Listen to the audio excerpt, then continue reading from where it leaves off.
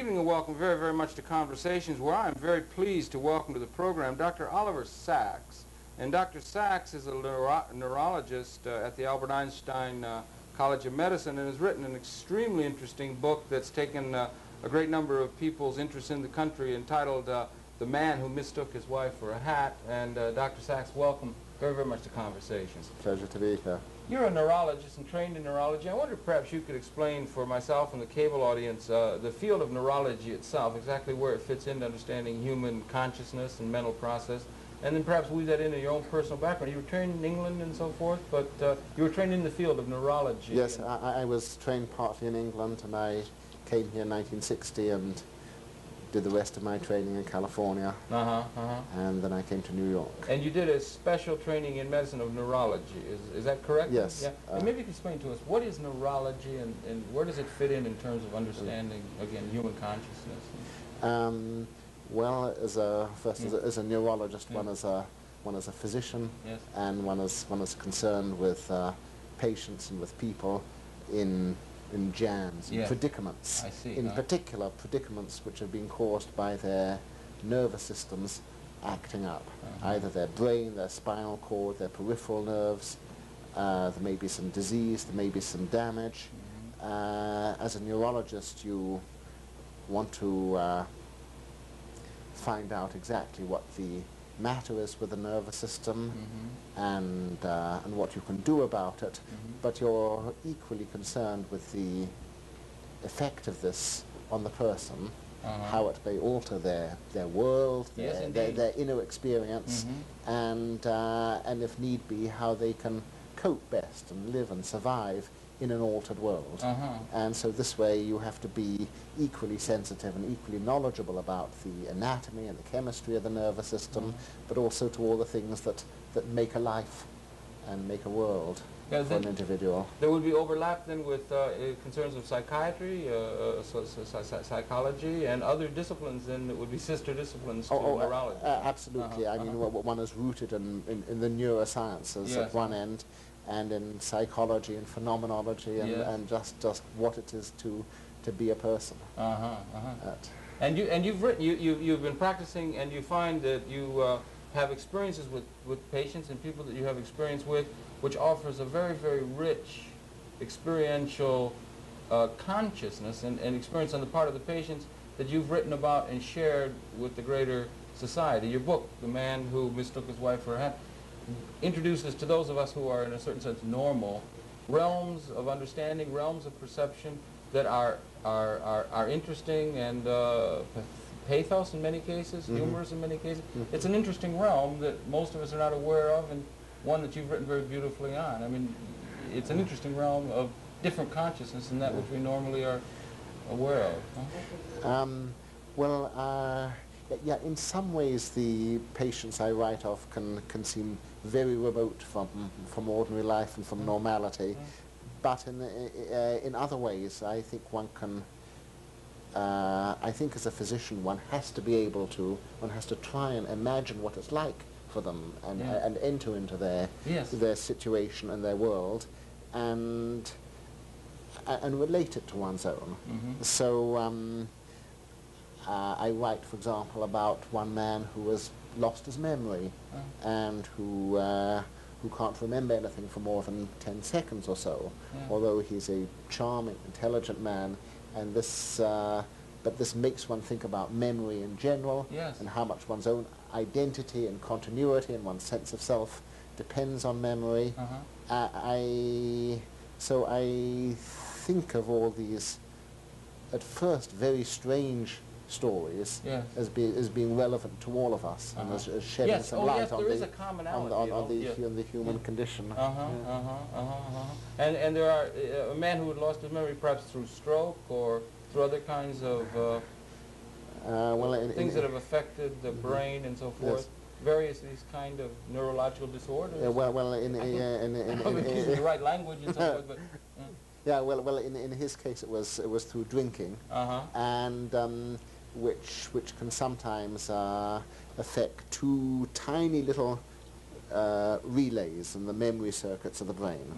Mm-hmm. Uh, I mean, they're so small, they're They're, you know, they're no bigger than peas. Mm. But just this tiny damage on both sides Mhm. can, uh, you know, can completely alter one's memory. Mm. Uh, typically, one's memory of the remote past may be perfectly preserved, but then there may be a sort of cut-off, Mhm. so that people may almost be immured in the past. hmm We're coming, we're, we're coming in a scientific sense to understand more and more the functioning of the brain, certainly through time, to where we can say the memory is Yes. in a certain point. We really are coming into, that's an, uh, an intrinsic and interesting realm, the brain, the mind. We're coming to understand it more and more with scientific clarity, what Um, it exactly is that's going on. Um, well, and, and through all sorts of ways. Obvious, Yeah. Obviously, one way is through uh, experiment on animals. Mhm. You stimulate a part of the brain, you remove a part of the brain, and you see how the animal's behavior is changed. Um, here, if you want, uh, for a physician, for a neurologist, nature is the experimenter. Mhm. She does the damage, um, and um, uh, but of course you have um, you have a person who can articulate Mm. what it's like and Yeah. reflect on things. Yeah. And I think that the clinical neurologist um, can uh, can never be superseded in this sort of way because he um, uh, and uh, and his function is, is to um, Mhm. uh, I mean he's uh, he, he, um, he's not enough by himself. One- right. You know, well, you know, one Yeah. also needs an experimental physiology, an experimental neurology. Uh-huh. But uh, but I think that with very accurate, vivid, uh, and one may sometimes almost need poetic descriptions Yes, indeed. yeah. of uh, of uh, of what it's like after a stroke, after brain damage, after meningitis or whatever. Yes. Um, this sort of description, coupled with a very uh, accurate portrayal of the brain, and now with things like uh, like brain scans, one can uh, get a tremendously accurate picture of the brain.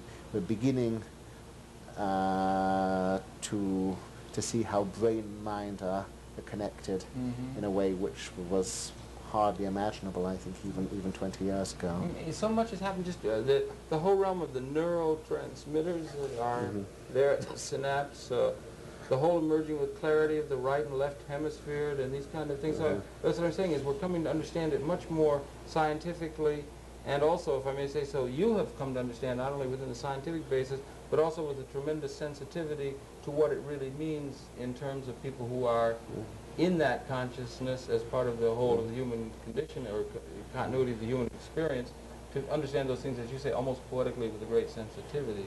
It's important that we be able to do Yeah. that, don't you feel? Um, I mean, yeah, yeah. Well, well, the um, uh, someone whom I, although I never met him, I regard him as my mentor in a way. A great Mhm. Russian psychologist or neuropsychologist. He used to talk about romantic science, Mhm. and um, and it's this coupling together of, of a of a feeling for the person Yeah. with the most rigorous scientific description. Um, my my own background, which you asked a bit before, I, I sort of came into medicine rather slowly. Mhm. I mean, my first interest was in, in mathematics, and Mhm. physics, Mhm. and chemistry. Um, uh, a, a lot of the books around the house Yes, so, so, so, so sort of relate to Mhm. that Mhm. time. And then and then I was interested in in uh, biology and physiology. I thought I was going to be be be a biologist, and then a physiologist.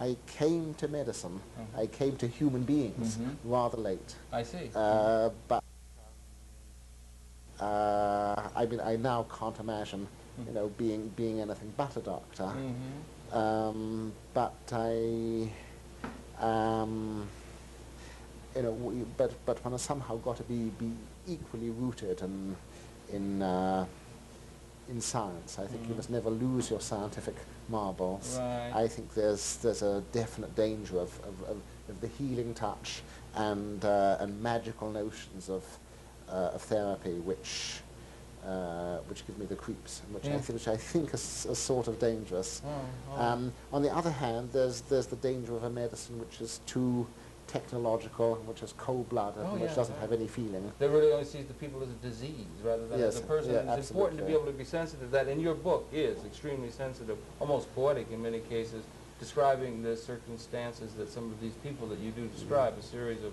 case studies, as it were, extreme sensitivity almost ranging on the poetic that I at this point like to thank, uh, congratulate you on having achieved that sensitivity and communicating that to us. But, but you know, um, patients are poetic. Yes. Um, um, everyone is poetic. Huh? I think I think that if you give people a chance, now I think this really has nothing to do with culture or even intelligence. Mm. I think I think people will say the most moving Mm. and accurate things Mhm. about themselves. Um, uh, I saw a woman the other day who had who had been catatonic Mhm. for a while and and in a sort of trance. When she came out of it, I asked her what what it had been like, and she said that she felt that if she so much as blinked, the world would come to an end. Uh-huh. Mm. Uh, I, I um, Mhm.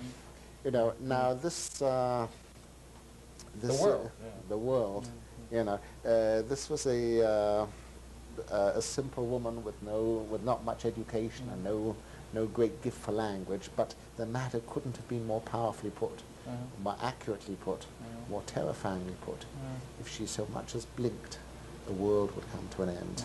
That's what the feeling of, that's what ca- uh, of catatonia may be like. Uh-huh, uh-huh. And this is one realm that you've had occasion to be involved in, and that realm of, ca- what, catatonia, was it aphasia? There, there's various kinds of conditions that you've been able to identify and of different states. Some of them are things of loss, some of them are things of overstimulation, Yeah. and so on. I wonder if you could give us sort of a broad brushstroke understanding of what neurological disorders and uh, types of disorders in, in some sort of an idea. How many different kinds of disorders? How can we classify them? Just in a broad, general kind of way, if, if you Um, could, for the layman, yeah. if you understand. Um, well, the uh, um, the the common word in in uh, the common words in neurology are are lesion and deficit. Uh-huh. Uh, a lesion, strictly speaking, means a loss or means something missing or Uh-huh. something broken. Um, uh, and um, uh, and this way one thinks of a, uh, a lesion or a loss, for example, in the language parts of the brain or in the parts of the brain at the back which, uh, which were involved in seeing Mhm. and processing visual information, Mhm. um, or the parts of the brain at the front, the frontal lobes, which were especially concerned with judgment and, uh, and character. Mhm. Um, uh, some, um, or as I mentioned before, the these lesion and these tiny little memory circuits. Mhm. Um, so I would say that on the whole, neurology is concerned with, with examining disabilities. Uh-huh. Um, I think that it shouldn't be confined Yeah. in this way because you, you see strange stimulations and excesses. As much as, as losses. Yeah, right. And um, And the stimulation or the losses could affect various parts of the brain. Yes. As a classifying factor, is a loss or an over of yes, functioning uh, um, or, or, or, or, or or, some, or sometimes both together. Uh-huh. I, sometimes if there's a loss at, uh, in one part of the brain, a lower part of the brain is, is released. Mhm. Um, and uh, and there, there are thousands of different parts of the brain. Yes, indeed. Um, I mean, something which has been interesting me very much recently is uh, a patient I've been seeing, a, uh, a gifted artist and colorist who, after a head injury, had uh, has had a loss, a total loss of color vision, so that he's he's seeing in black and white. and he'd been a color, an artist with Oh, a, a, a genius of color. Oh, my I, I- I mean, so so in a way, the most important thing in his world was knocked out. And he had an accident, and then that was a deficit of the part of his brain that had to do with colors, and now he sees in black Um, and white. Yeah. Oh. Um, now he was absolutely devastated by this, Yeah. uh, but then then his um, you know man is a survivor, Yeah. and uh, and the will Mm. to survive and indeed the will to create reasserted itself, and he thought, if I don't see colour, and he didn't know whether his colour vision would come back, he Mm. thought, I'll paint in black and white. Oh. And he's been doing the most remarkable Truly. black and white paintings. Yes, right. Um, and, uh, but um, one, uh, uh, actually it's only been established in the last 10 years, uh, that there's a particular part of the brain. Mm. It is, uh, it is a quarter of the size of, of this, Yeah. a tiny, tiny part of the brain which is essential for seeing colour, Uh-huh. processing colour. Uh, But, but then there are great massive parts of the brain which, which alter character and things. yeah. But uh, you can have uh, these excesses as well. Mm. Um, and uh, there's some diseases which are, which are almost like a gift. Uh, and uh, I, actually, I, I have a friend of whom it was once said, he's so brilliant, it's almost a disease. and, Right. I- I- um, and, there's some, and there's some diseases which, are, which in a sense, are brilliant. Uh, Uh, there's one which fascinates me called, called Tourette syndrome, yeah. in, in which there tend to be sudden, sudden jerks and spasms Tics. um, and tics, Mm. but also um, tics, tics of the mind as Yeah. well, and thoughts which suddenly dart in. Huh. And people who have this can be remarkably quick in invention and association, Will this be genetic? and fancy and wit. Uh-huh. Um, yes, some, sometimes it is, Uh-huh. uh, sometimes not always. uh-huh. Um, but um, but in a way, someone with Tourette's Yeah. is is um, he's he can be he can suffer and be disabled and be stigmatized in some ways, and at the same time, as it were, have a have a real sort of advantage. In some ways, his brain is working exceptionally well. Uh-huh. Uh, people who have Tourette's usually have remarkable speed and coordination. Many of them very music, are very musical. Uh-huh. And so, You in a, have to- w- in a way, if you sort of come to, to treat a person like this, Yes. you have to weigh uh, the advantages and disadvantages of having Tourette's Uh-huh. against, uh, against that of not having it. Yeah. It's, it's not a pure curse. That's right, right. You, you have a story in there, Ricky Ticky, somebody, a Uh, drummer? um, a uh, um, drummer? yes, Was it? um, uh, uh, Witty Ticky Ray. Yeah, right, right. Uh, I mean, that was his own name for Maybe you himself. could share that. What was Yeah. it?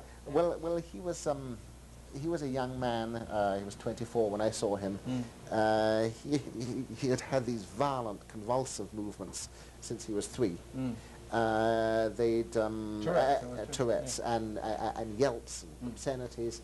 Um, life was often very difficult for him. I I mean, imagine, he yeah. uh, he couldn't he couldn't walk down a street. He couldn't go into a cafe. He couldn't be in a public place without instantly attracting Okay. um, uh, um, outrage, Yes, all right. attention. Outrage Yes. right, right, Um, And at the same time, he was sort of, um, you know, um, uh, a very charming, personable man who seemed to be possessed by Mm. these sudden, sudden frenzies. Which Um, would often be witty and, and, and yeah, a- and productive. Yes, Yeah. I, I mean he, uh, he connected his. Uh, he talked about his his uh, his ticky witticisms and his witty tickicisms, and and his own name for himself was was was witty ticky ray, witty ticky ray, and um, uh, now I first. drummer. Uh, yeah, and he was um, he was a remarkable drummer who was Mm. really famous for his sudden improvisations. The Mhm. improvisation would always start with a tic Mhm. or, or, or hitting a drum Mm. compulsively or convulsively, but Mm. then he would improvise very quickly around this. Mhm. And um, but so that um, was a source of creativity in terms oh, of music absolutely. Yes, right, right. absolutely. Mhm. Um, now, however, he he came for some medicine. Yes. Uh, he now um, as a doctor, um, and perhaps this happens increasingly, and perhaps too much now. Mm. One may think. One, one, one must think physiologically and chemically. Mhm. So you say, what is the physiology of Tourette's? What is Yeah. the chemistry of Tourette's? Uh-huh. Or what should we do about the disease? Yes. You can- Now, um, one finds, uh, you mentioned some of these transmitters which are. Neurotransmitters, uh, yeah. yeah. Now, there's um, the transmitter which is too low in Parkinson's disease, Uh-huh. a thing called dopamine, Yes. is too high in Tourette's I see. syndrome. So Uh-huh. where there's too little motion in Parkinson's, Uh-huh. the, the, the, There's the, too the, much. the- there's an extravagance of motion Yes, uh-huh. in Tourette's. Um, so you would think then let's damp down the dopamine. Uh-huh. By giving the dopamine, dopamine is a neurotransmitter? Is a neurotransmitter. And by giving a certain drug, you would affect the Uh, dopamine um, ratio um, of the synapse? Yes. Uh, Now, um, however, when I uh, uh, when I tried him on this, uh, it um, it worked sort of. Um, it sort of slowed him down too much, and it threw him off in various ways. Give him too much, maybe? Uh, no, well, well, it Well, was. I mean- um, well, I wasn't sure, but Yeah, um, right, of course, I, I, in fact, no, I gave him a tiny dose, Yeah, uh, the smallest dose I've ever given. I see. But somehow, I mean, he was um, Yeah. uh, he was very used to doing things at high speed, Yes, right. and in particular, he was sort of playful. A lot of right, right. Tourette's were. He liked to set a, rev- uh, a revolving door spinning, uh, uh, uh, uh, uh, and then go Uh, go uh, round it like that. Or Uh, going off on a creative drum riff is really fun. yeah, and um, uh, uh, you know, and this brilliant time and this acceleration was Right. was lost. And in fact, he tried this with a door, and the door and the door came and smashed him in the nose, and he he so he came in with a. Um, fortunately, this was before the days of malpractice, and, uh, and, he- and he came in with a broken nose and uh, and, and used some four-letter words about the about uh, about the drug. Yes. However, he also said something very interesting, and it's at this point I think that medicine gets to a deeper level, Uh-huh. and you see that you're not, you mustn't just deal with the disease, Yeah. but with the individual who has it Yes, in his whole world. Yeah. And what he said was this. He he spoke then about his witty tickicisms and things, Yeah. and witty ticky ray. He said, "I consist of tics." Mm. He says, I, I, I, you know, I've been a ticker Mm. since, since, uh, since the age of three. Mm. I don't know anything else. He said, maybe there isn't anything else. He said, maybe if you take away the tics, Mm. there'll be nothing left. Interesting. Now, this is, um, this is something which many patients feel, even if they don't say it Mhm. that clearly. They get calmed down and then things become rather boring. Um, Or is that yes, uh, well, well, perhaps it's partly that, or, Yeah. or partly in a sense they have lived Yeah. by their disease, Yes, or through right. their disease. Um, now, what was essentially necessary with him then uh, was a sort of, it was something akin to psychotherapy, but Yeah. maybe it was also a, uh, just an exercise of, of empathy and imagination. Yeah. I had to say, you may be right, Mm. but let's try and imagine Mm. what you've never experienced. Let's see if we can imagine what life might be like without Tourette's, what health might, might be like, Mhm. uh, what a life might be like without the perverse advantages and real disadvantages of Tourette's, what life might be like without being singled out by Tourette's as you have been all your life. The perverse advantages? uh, Well, the, the perverse advantages, you know, eh, um, uh, from the ability yeah. to from the ability to create an outrage or a yeah. scandal to uh, to the ability to be to be a remarkable drama. Yeah, right, right, right. Um, uh, so uh, so we did this, and and the, it became clear to both of us that there was a level of the personality uh-huh, which was deeper than the Tourette's, uh-huh. And which, so to speak, had been observing life, Mm. uh, or uh, and um, I wasn't convinced when I first saw him that there was this deeper level, Mhm. though though I think there always is. Mhm. I mean, a person is always deeper than Mhm. any disease Yeah. which they may have, Mhm. and. Um, and then after three months of this sort of thing, which, which gave us, gave him in particular, some feeling of hope, Mhm. Uh, I tried him again on the same medication, and really this time it worked like a charm, and Yeah. it's done so for the last 15 years now, although there's a cost. Mhm.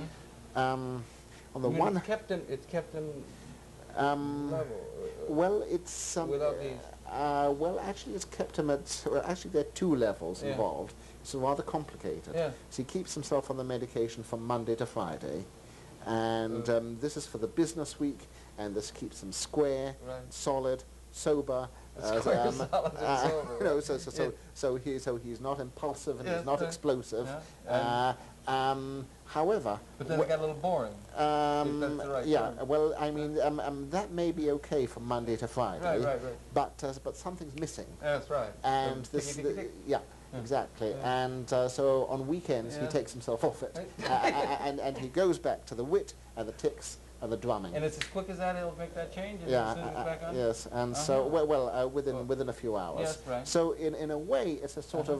of it's a sort of Jekyll and Hyde existence, Indeed, right, but um, is, yeah. I, I mean not in any moral Yes, sense. right. No, no, no, no, no. Um, although although But the best of both worlds in a way. um, I don't well, yes, um, Mm. it's uh, it's complicated, Yes, but um, but but here, I, I mean, the individual sort Yeah. of has to choose. Yeah. It's not just a question of, of, of, of giving someone a uh, a pill, No, indeed. it. And he has to choose with somebody who can sensitively help him choose like that. Unfortunately, he was in touch with you who could help him find his way through to that, and others of your colleagues who are able to do that and understand these incredibly interesting realm.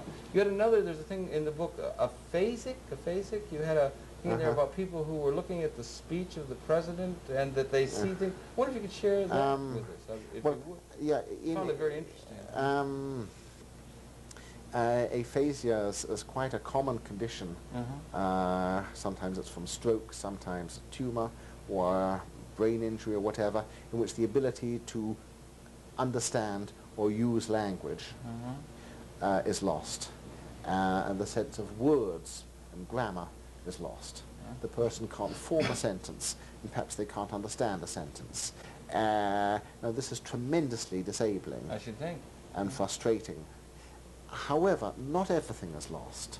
And uh, typically, uh, um, uh, I see this in the hospitals where I work, that um, the nurses and friends and other people may not, um, can hardly believe that these patients sort of are so aphasic Uh-huh. because the patients may be so sensitive Yeah. in picking up non-verbal things, sort of expression uh, and intonation, Uh-huh. the tone of voice, Yeah. the posture of the body, and um, Apart from the word itself, or the various words, yeah. um, um, Oh. so so that certainly with uh, with an emotional and emotionally coloured utterance, Mhm. they can pick up the emotional colour with extraordinary accuracy, Uh-huh.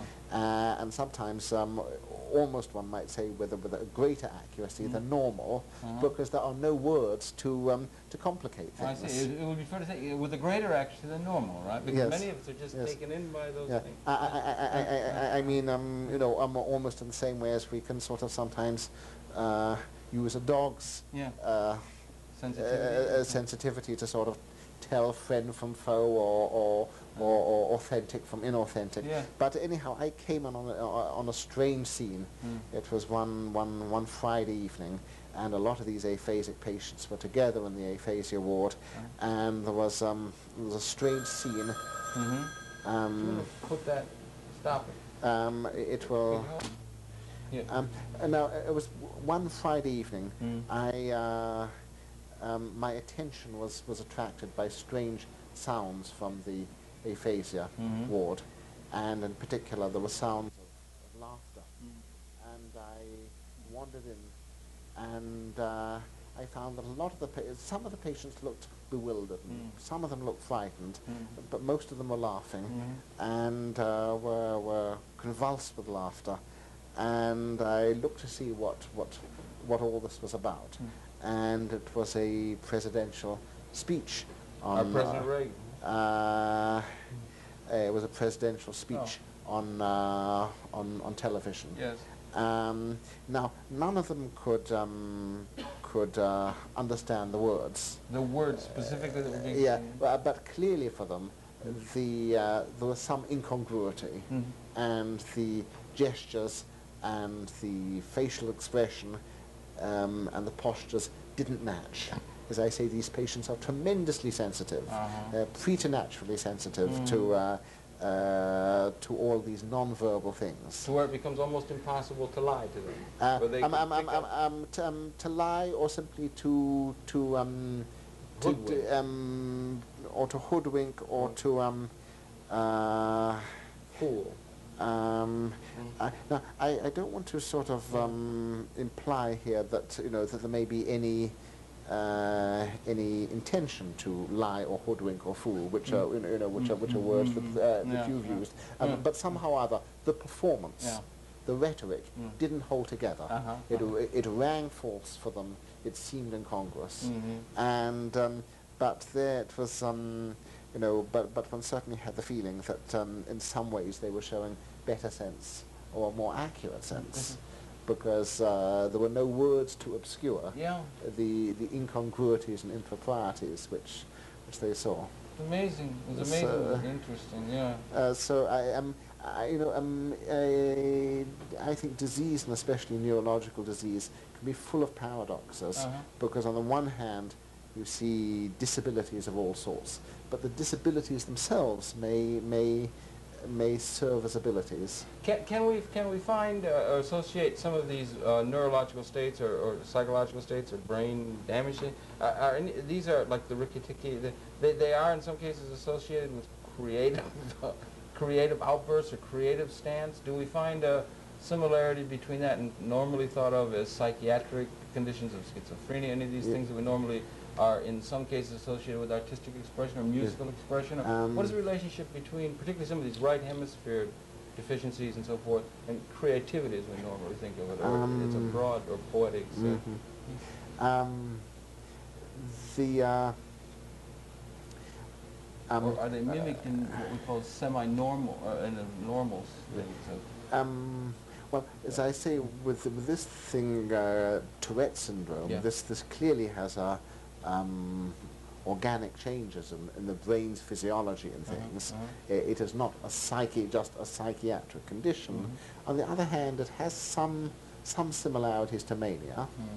Mhm. Um, and some similarities to, um, I think sometimes to creative excitement. Mhm, Um, I think I think there's sometimes creative possibilities may be given by by illness or by stimulations of part of the brain. Mhm. Uh, I mean, of course, we look for this ourselves when um, when we take drugs Mhm, of one sort or mhm, another. mhm. Uh, the um, it's um,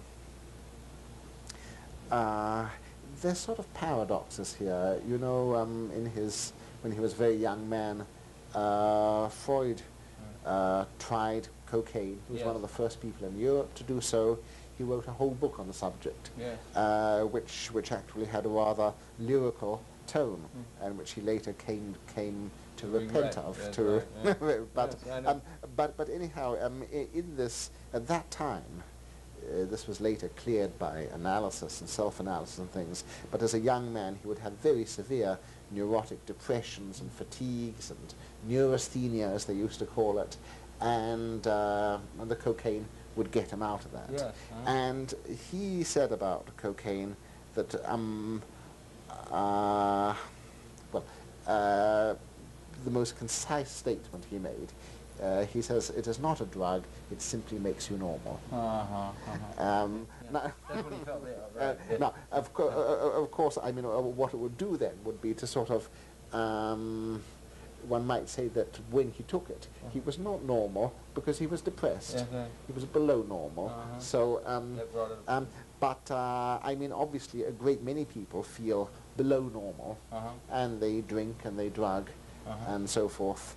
Um, the Or to try to enhance Um, their Um, consciousness. uh, but um, uh, there's partly a cultural thing about this. So, you, know, in the 1960s, everyone was sort of taking acid, and, uh, and, the, and Timothy Leary was, was, was seen as a as a messianic figure, and now and, and now people don't.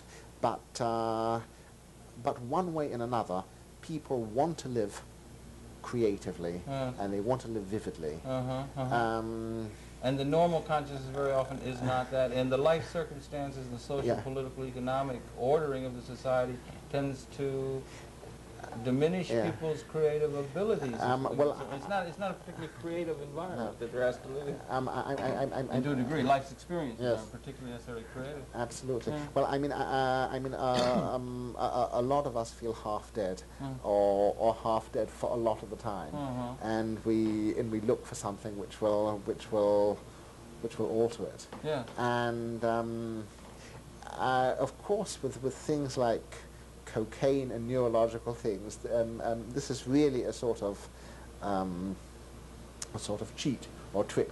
Because what happens is, is you excite the nervous system, Mm. you do a sort of vertical takeoff, Yeah.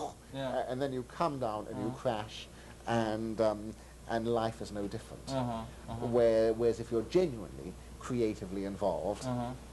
Then the world opens up in, in wonder, and Uh-huh. it and it can be and it can be very different. Yeah, so you can, you can have these alterations and bring biochemistry and so forth uh, by life's experiences or by the ingestion Yes. of some drug that will alter Uh, those. In fact, uh, the drugs very often do alter these ra ratio of neurotransmitters. uh, Yeah, uh, uh, and uh, and uh, and vice versa. Uh. Um, you, you know, this is a uh, this is an ambiguous theme, Yeah. uh, which uh, which fascinated uh, have, has fascinated many writers. Yes. Fascinated Thomas Mann. Indeed. Uh, and and so in in again and again. Uh, in, in the Magic Mountain, it's, Yeah. it's tuberculosis, Uh-huh. uh, and, and and as it were, there's a tuberculous high, Mm-hmm. uh, which um, and then in some epileptics. Uh, there's some. Oh, yes, yeah, yeah, oh, oh, oh Mm. cer- certainly, yes. Mm. The in, uh, in in his later book in in uh, in Doctor Faustus, uh, the brain is uh, is stimulated. The man becomes a musical genius Uh-huh. uh, because he has syphilis of the brain, Uh, or, or, or, or, at least this is the this is the theme.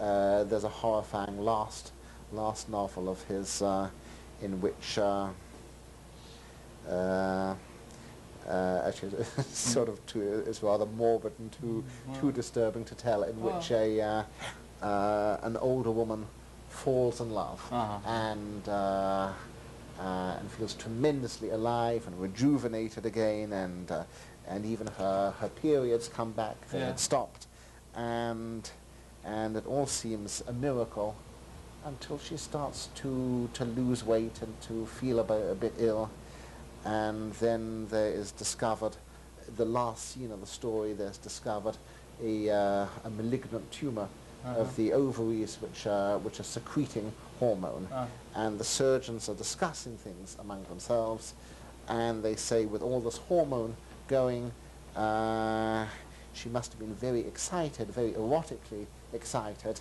Um, uh, they wonder if this might have altered her personality, but then the other surgeon said, but perhaps it was the other way around. Mm. Uh, perhaps there was an erotic circumstance. Mhm. Perhaps she fell in love, Mhm. and this sort of stimulated the Mhm. ovaries and the growth. mhm. And um, I, you mentioned to me earlier that you had once interviewed someone about uh, about chemistry and love. Yes, by, uh, Michael Liebowitz. Uh-huh. yeah, right. Um, but the, the, the, the most terrible and frightening Mm. story I've ever read about chemistry and love was that? Yeah. is the black swan. Yeah, but it does have to do. It does have to do with the the, the desire on the part of, or the interest on the part of uh, altered states, enhanced states, Yes, and so forth. yes. It's interesting, and a lot of these neurological conditions you study are enhanced very often detrimentally. So, and there's a great deal of pathos involved and so Yeah. forth too that Yeah. you must be Um, sensitive to. no, no, well, the I, I mean the pathos is, Yeah. is, is Yeah. overwhelming. Yes, I Um, imagine it must uh, and uh, people who come and I, I, I work on the whole among the most disabled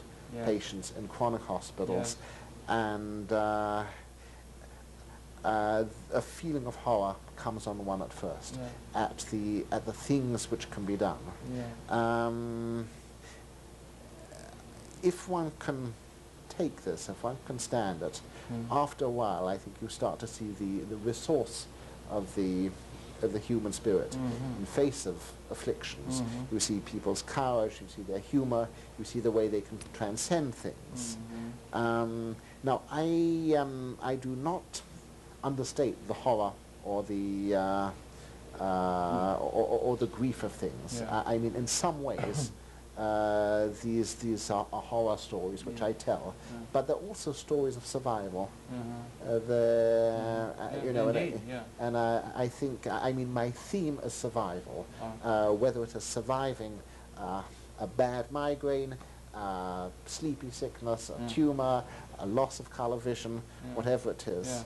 Yeah. Uh-huh. And Lots um, of television, yeah, right. yeah, Yeah, no, Well, it- it- You're involved in that at the moment, yeah, right? yeah, indeed. I'm sorry, it keeps keeps No, no, coming that's into quite my all right. mind. And, and you have written also, you wrote a book, Migraine, some time ago, Yes. on the migraine Yes. itself. It's a, it's a thing that plagues great numbers of Yeah, people. yeah. and No, that, that, that, that, was my Yeah. my first book, my first interest, Uh-huh. and um, it's. Uh, as a neuro- neurologist. Yes. Yeah, right. uh-huh. Um, no, i it's um, it's immensely fascinating Yes. and immensely challenging. Uh-huh. it's not just a headache. In a, in a way, the headache is the is the least interesting part of it. Gee, that's interesting. Uh, isn't? It's a- It's um, widespread phenomenon. yeah, it is indeed sort Yeah. of. Uh, And you had another book, Awakening? um, Yeah. uh, i with awakenings, yeah, this was about an extraordinary group of patients um, who had all had the thing called sleepy sickness or Yeah. sleeping sickness. It was Uh-huh. a virus in the in the early 1920s. Uh-huh. Uh, this uh, this was a worldwide epidemic. Uh-huh. Uh, it affected about five million people. Is that narcolepsy? Um, no, no, No. no, not No. like that at all. Um, uh, um, about two million of them died, Uh-huh. and the, many of the others appeared to recover, but then uh, became strangely ill and ended up in hospitals of one sort or another, often in states of uh, of trance and transfixion, and sometimes Parkinsonism. Um, sometimes, as you say, there was a narcolepsy, a sleep disorder. Yeah. It's a strange, forgotten disease. Uh-huh. Uh-huh. There was tremendous volume of interest in writing about this in the 1920s, Yeah. but by 1935 it had all stopped. Uh-huh. Um, so as a medical student and as a resident in neurology, Uh-huh. I'd hardly heard of it. Uh-huh. And then in 1966 I came to a hospital in the Bronx, Uh-huh. and there there were 80 people, um, many of them sort of transfixed in, in strange postures, uh, people who had come to a complete stop Uh-huh. and not uh, including a stop inside. Mhm. Uh, the stream of, of thinking and the feeling had stopped as well. They, they were like sentient statues, and some of them had been like that for more than 40 years. Mhm. And um, I'd never ima- I'd never heard of, I'd never seen such things, I'd Mm. never heard of such things. Mm. I, I wouldn't have imagined it was possible. Mhm. It had a, I was reminded of the myths of, you know, of uh, the Greek myths of childhood, of Yeah. people being turned to stone. Yes. These were like people who had been turned to stone. Mm. Um, sometimes, very suddenly, the statue would be animated and the people would move and talk for a few seconds, and then you'd see what a normal person might be there, what a vivid personality, um, and then and then they would freeze up again, Mhm. uh, sort of imprisoned in this bizarre way, and um, Mm. there's nothing one could do therapeutically Mm. uh, until a thing called L-DOPA came along. And? Uh, and uh, this is a precursor of one of Yes, these neurotransmitters Of the dopamine. of dopamine, Yeah. and with L-DOPA it was possible to um, uh, to uh, to awaken them My and Lord. to bring them to life. What is the story? What Um, well, it was, Uh, ve- it was uh, a very uh, no. I mean, the summer Oh, of yes, uh, '69 was yeah. was an astonishing sort of festive period. I mean, Uh-huh. it was really a time of Yeah. resurrection, Oh, uh, in which people who had had no life, Uh-huh. who had come to a stop, who That's had been out of the world yeah. for 40 years, Uh-huh. came to. My Lord. Um, and uh, later there were all sorts of complications, some of them to do with the physiology and the medication. Yes, I would have thought. Um, some of them, I think, due to, uh, I mean, adjustment. Yes, of course. It's, yeah, it's yeah, far too yeah. mild a word. Yeah, Uh, right, yeah, yeah, absolutely. I, I, I, I, uh-huh, mean, sup- uh, um, supposing yeah. a man, so Yeah. to speak, of 25, Yes. Or who feels he's 25, yeah, comes to Yeah. and finds that he's 65. Amazing. Yeah. Um, this Yeah. happened with uh, precisely with one of the patients, and it was a, a patient who very much attracted the attention of, of Harold Pinter, the Uh, playwright, oh, and he, he wrote a play about her. But she had um, come to a stop in 1926, uh, and she'd been in this sort of strange, trance-like state for 43 years. My Lord. And when we gave her L-DOPA, she she became very excited and vivacious and actually rather salacious as well. Immediately. Um, uh, uh, well, I mean, it, it, it, um, it took uh, about a week to warm up, Uh-huh. and then there was an overnight change. In some patients, the change occurred in seconds, Mhm. and she she burst into stories and anecdotes. But you know, some of her mannerisms and some of her speech was was of an obsolete sort. Yeah. And uh, so, uh, so, so I mean, it was strange, and it was like a flapper Yeah. come to life. Yeah. And we we asked her, and I wondered if she was disoriented, where she was. I said, Sylvie, um, you know, what's the date and Mm. things. Uh, and she is a very quick woman. She said, look, she says, I can give you the date of Pearl Harbor, I can give you the date of Kennedy's assassination. She said, I've registered it all, but none of it seems real to me. Uh-huh. uh She says, I know it's 1969, I know I'm 64. She says, but I feel it's 26. Uh-huh. I, I feel I'm 21. Mhm. Nothing has happened an for the last 43 years. What an amazing story. What Yeah. an amazing realm. And and uh, mm. and so so um, so awakenings Yeah. then was the story of 20 patients like Mm. this. And th- that, that, that, with that, with that, with that particular syndrome and that kind of thing is in a particularly dramatic uh, experience of these neurological Mm. disorders, neurological functioning and changes and so forth, that is your realm, as it were, and so forth, and that there are these number of interesting examples of that that you finally now put together in this newer book, Yes. the, the, the Man with the Hat. How did we come with the title, if we could? Um, Man, we got to get that in before we end here. Yes, the title of the book, which has um, become so widely read now, and it says uh, Um, the man who mistook his wife for a hat. Maybe Yeah, can share that um, with us. well, I, I, it's sort of what, what actually happened. Mm. I'd seen this patient who was a charming, elderly uh, music professor Mhm. Um, who had started to have difficulties in recognition, Mhm. uh, in recognizing the faces of his students. Uh, as soon as they spoke, he'd recognize them at once. The Mhm. difficulties were only with, with visual recognition. Mhm. Uh, finally, the faces of his familiar ones, even his own face became unrecognizable. Mm. Uh, so when he was shaving, which, which is not a thing I do, Mm. um, he, he- would have to uh, stick out his tongue or grimace Mm. in order to establish that the reflection yeah. facing him was in fact his face. Um, but uh, the uh, uh, and, and all sorts of things were of roughly similar shape Uh-huh. were were mistaken. There was one period in the examination after I'd had him take off his shoe when he when he wasn't sure which was his foot and which was his shoe. I see. Um, Uh-huh. and then right at the end, he reached out to uh, to to get his hat, and he got his wife's head Head, uh-huh. instead. And he Yeah. started he started to, to tug, and um, she she had a sort of tolerant look on her face. I think she was she was used to this. And um, you know, and actually, she moved moved his hand over to his hat, and he put his hat on. dear. And I thought, my God, I, I thought he's he's mistaken his wife for a hat.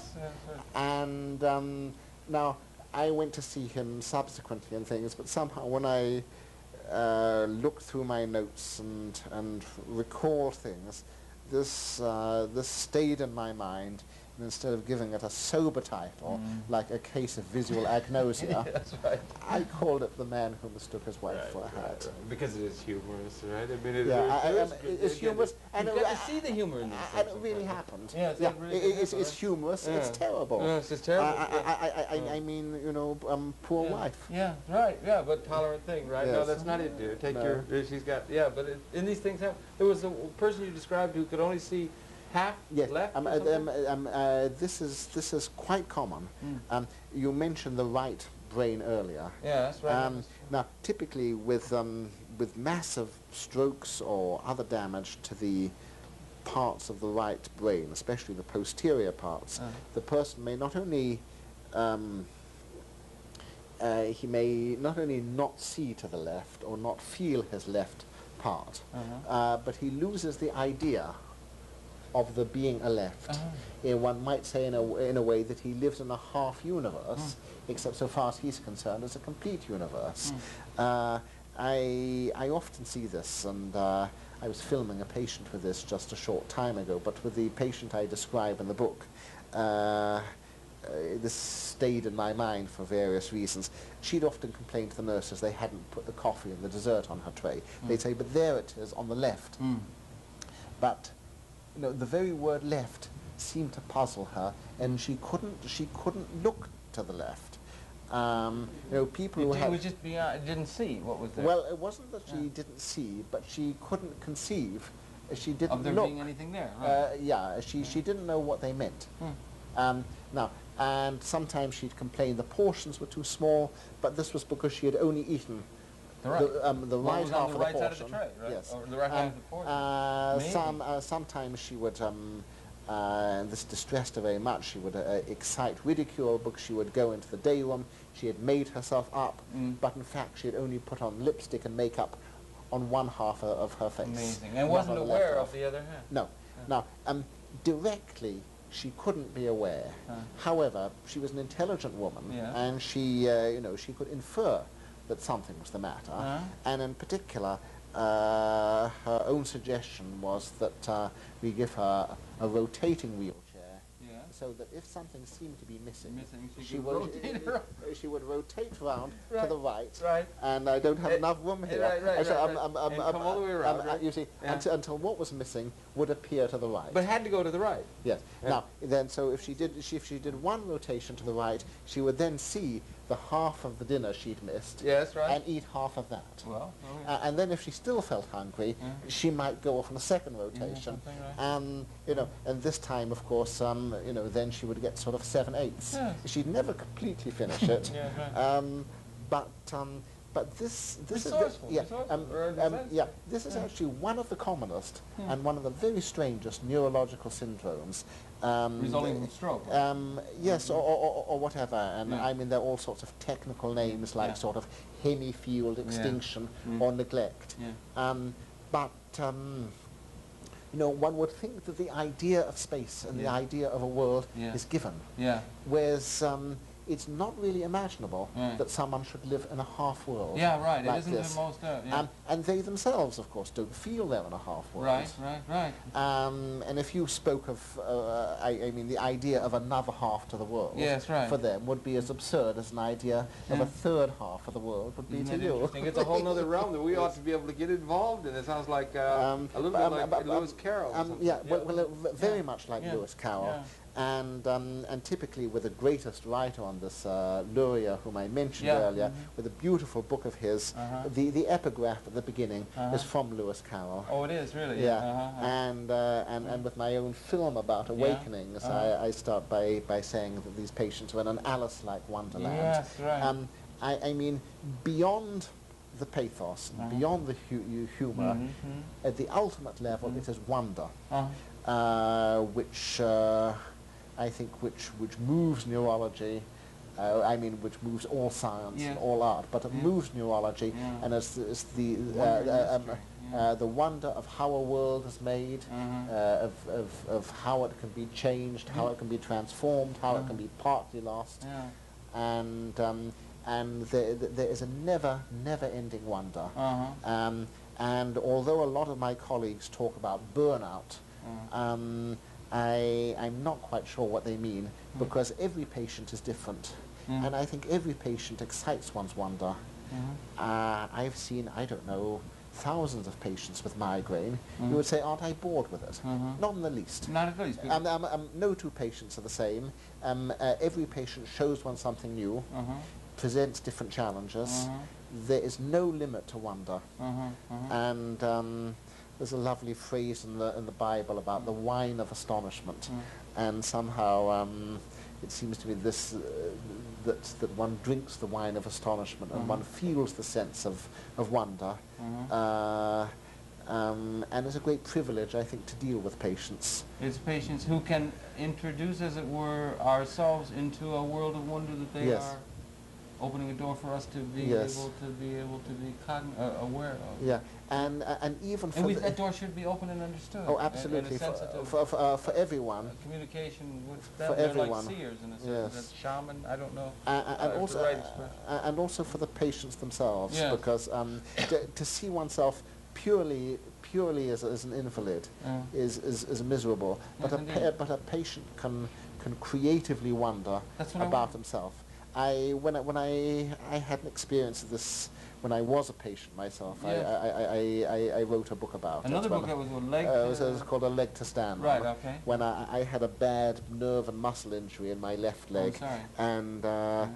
and um, and and lost the use and the sense of the leg. I Hmm. mean, I, I felt I didn't have a leg. It That is a, that is the thing with amputees. They have a yes, a well, well, phantom, um, uh, well, well, well, yeah, well, well, well, um, uh, this uh, thing is sometimes called a negative yeah, phantom. Uh-huh. In a positive phantom, you you don't have a limb, but you feel you have a limb. Yeah. In a negative phantom, you have the limb, Yeah. but you're not conscious of it. I mean, see. Uh-huh. Um, I um, now this distressed me and it frightened me a good deal, but it also filled me with wonder Uh-huh. uh, that, that such a thing could happen because one takes one's body for granted. Yes, right. The body is, is, is beyond question. Yeah. How could one? Um, know, John. you lose a sense of the body, the body's ego, the ego is, is in the body. Absolutely. I I, I, I mean, the, the, the, um, the, bo- the body is where one starts from. Yeah. The body is the most certain thing in the world. Yeah.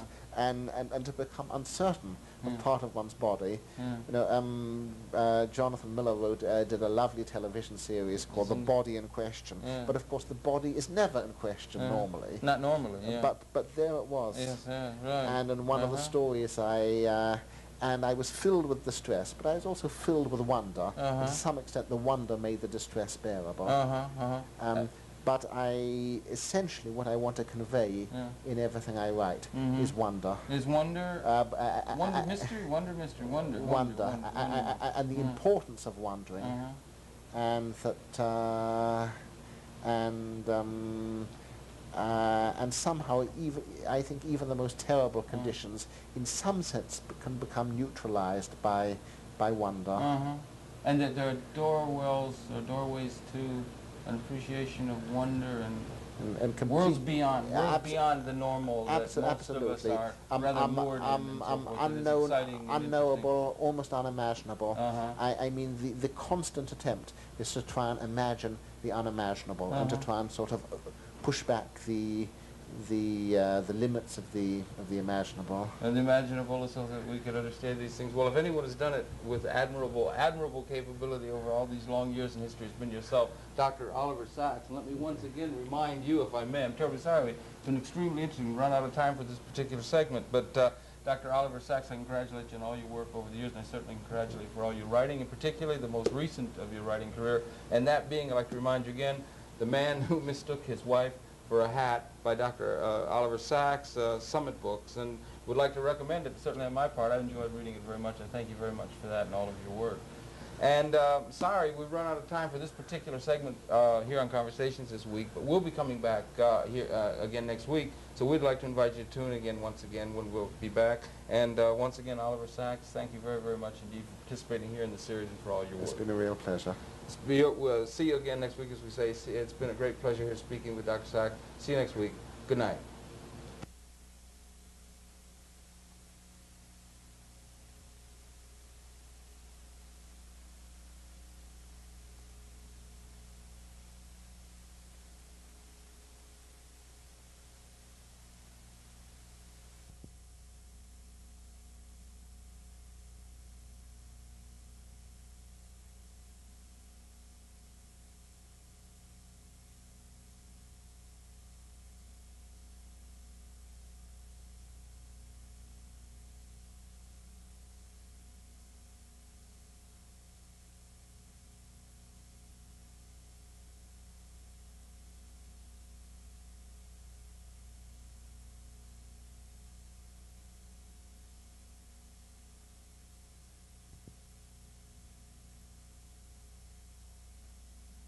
These were like people who had been turned to stone.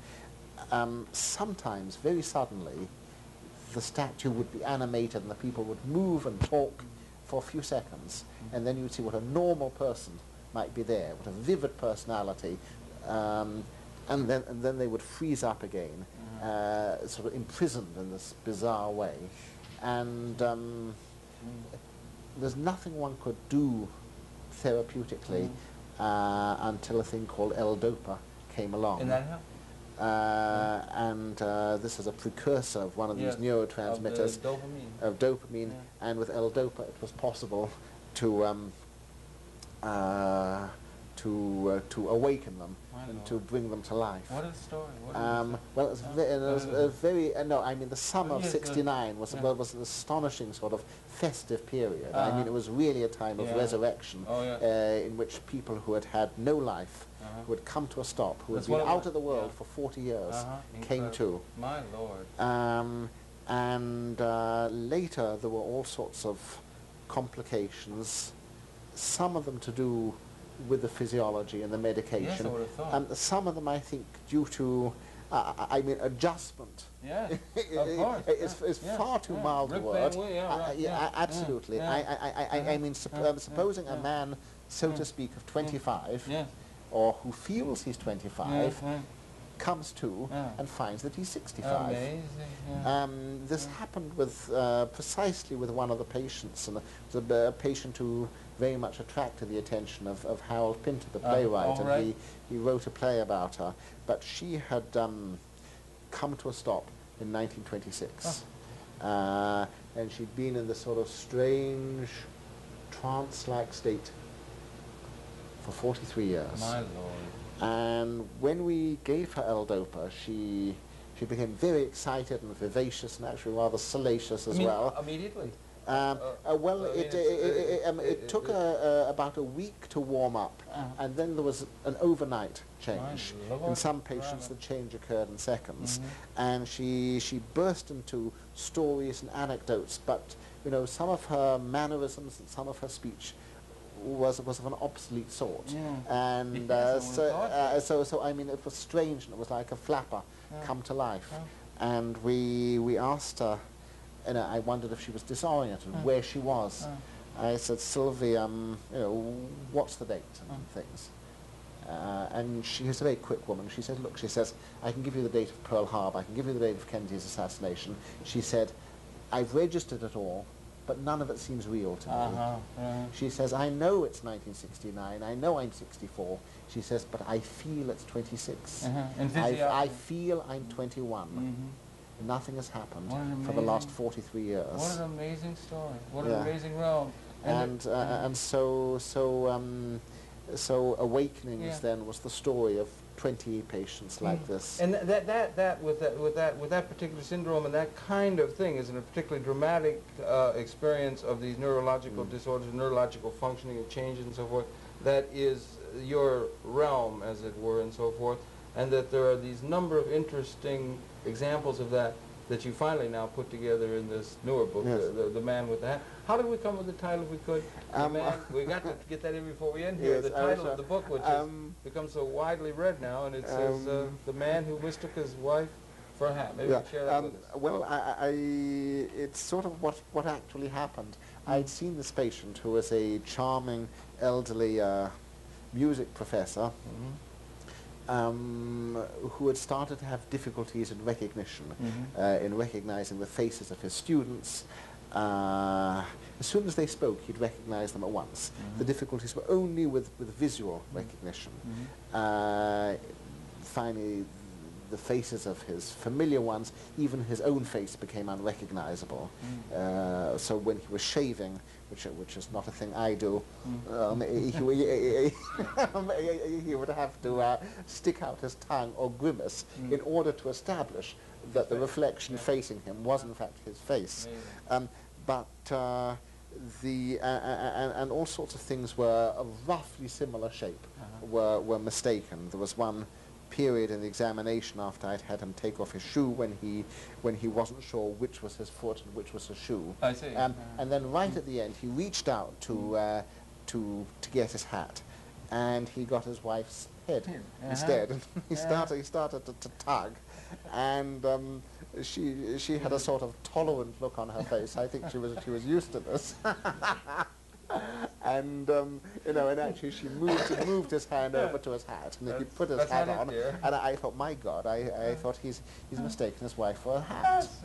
And um, now I went to see him subsequently and things, but somehow when I uh, look through my notes and and recall things, this uh, this stayed in my mind. And instead of giving it a sober title, Mm. like a case of visual agnosia, That's right. I called it the man who mistook his wife Right, for a right, hat. Because it is humorous, right? I mean, it, Yeah, I, I, good. it's humorous. and You've it- got to I- see the humor in this. And it really happened. Yeah, it's yeah, really it- it's, it's humorous. Yeah. It's terrible. Yes, it's terrible. I, I. I, I, mean, you know, um, poor yeah. wife. Yeah, right. Yeah, but tolerant thing, right? No, that's not it, dear. Take No. your. She's got. Yeah, but it, and these things happen. There was a person you described who could only see half Yes, left. um, uh, um, something? um, uh, this is this is quite common. Mm. Um, you mentioned the right brain earlier. yeah, that's right. Um, now, typically with um, with massive strokes or other damage to the parts of the right brain, especially the posterior parts, Uh. the person may not only um, uh, he may not only not see to the left or not feel his left part, Uh-huh. uh, but he loses the idea of the being a left. Uh-huh. Yeah, one might say in a, in a way that he lives in a half universe, except so far as he's concerned, it's a complete universe. Uh, I, I often see this, and uh, I was filming a patient with this just a short time ago, but with the patient I describe in the book, uh, uh, this stayed in my mind for various reasons. She'd often complain to the nurses they hadn't put the coffee and the dessert on her tray. They'd say, but there it is on the left. Mm.